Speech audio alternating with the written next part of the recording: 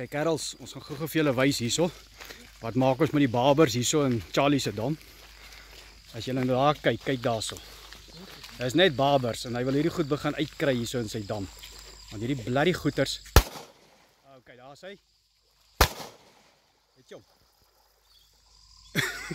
Daai een is raak. Daai's raak, daar's hy. Jongens, het hom. Daai een is raak.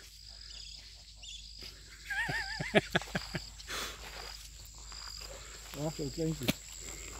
Morgen. Haas.